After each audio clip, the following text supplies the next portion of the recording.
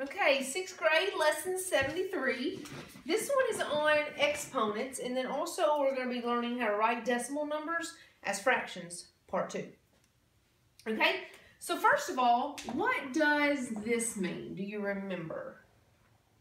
Uh, it's exponent, right? Yes, very good. This is an exponent. And that means 5 times 5. Very good. So if you saw that, what would it mean? 5 times 5 times 5. Very good. And so, um, no matter how many times, how many numbers I can put five or even six up there, um, but regardless, it means this, the same number multiplied four times, right? Okay, now, quick review on that. So, do you know how to say this? 5 to the second power? Very good. Um, sometimes people can say five squared. Oh. It's another term. But it's easier just to say 5 to the second power because everything can be said 5 to the third power, 5 to the fourth power, 5 to the fifth power. But another term that could be used, squared, cubed. Those are kind of more common math terms, but you can say 5 to the second power, 5 to the third power. Okay? It doesn't really matter. Got it? All right.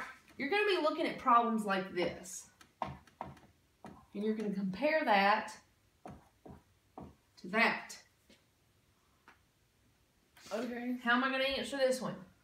3 times 3 times 4 you could. No, 3 times 4 is 12.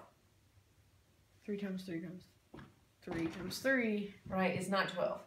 Yeah. 3 times 3 is 9.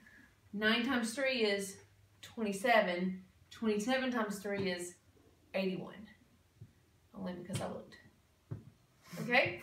So this one equals 81, just so you know. Now let's do this one. 4 times 4 times 4, I right? It might be the same. No. 4 times 4 is 16. 16 times 4 is 64. Oh. Just because I looked earlier. So, which one's bigger?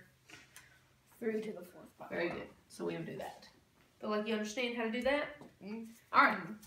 Now, do you remember doing prime factorization? Oh, yes. Okay. So what would I do for this? Um. Prime factorization. Maybe 2 times 2,000? I mean, 2 times 500? yeah, that's what I meant. Okay. Any prime numbers? 500. 500 times That'd 2? be a 100, not a 1,000. 500 times 2? Oh. 1,000. 50 times 2 is Oh, 100. that was it. Yeah, okay. So I 2 got times confused. 500. Yeah, then 2 is a prime. Good. Now we're going to keep going over here. Remember, when you end in 0, what's an easy way to do it? 10 Uh, times something. Or 100 times something. You can do 10 times 50, right? 10 times 50 or 5 times 100.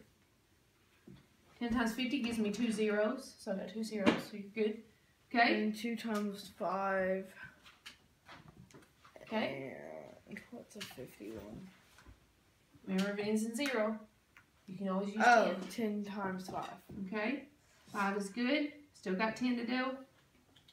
You could do 2 and 5. 2 times 5. Okay, we finally ended it. Okay, so now I'm going to write all of these numbers in order. 2 times 2 times 2, and then there's three fives. Times 5 times 5 times 5. Sorry, I wrote crooked. Okay? So, 2 times 2 times 2 times 5 times 5 times 5 equals 1,000, right? Okay? What is a way I can write that using exponents? Um. 2 Oh!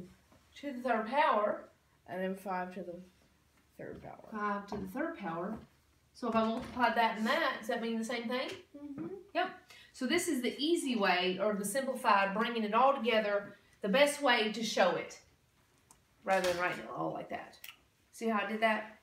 So that kind of shows the same thing, but it's written simpler here. You Yeah. get it? Okay. You feel like you're understanding so far? Yeah. Okay, so that's writing prime factorizations using exponents. Okay, just so you know. All right, look at this one.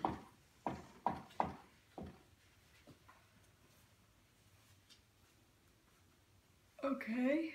That's zero. Very good, because 10 squared is 100. 100, and 100 minus 100 is 0. Very good.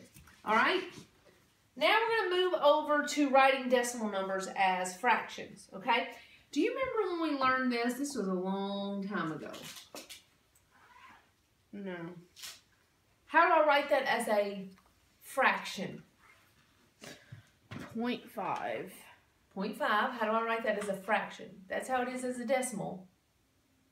Think with me for a minute. What place is 5 this over in? 10, maybe? Yes, 5 over 10. And then when we reduce that, it becomes 1 half. 5 will go into 5 one time, 5 will go into 10 two times. So 0.5 is that as a fraction. Got it? Mhm. All right, let's do another one. This time, it's a decimal and a whole number. So I've got a whole number and a decimal. How would I make this into a fraction or a mixed number? Um. Remember this says three, and. So it could be 3 and. I don't know. okay, tenths, Hundreds. hundreds. yeah. So it'd be 7 over 100? No. Um, Do you understand why this yeah, is whole? I get it. This is a whole number. This is a whole number. This portion is the fraction.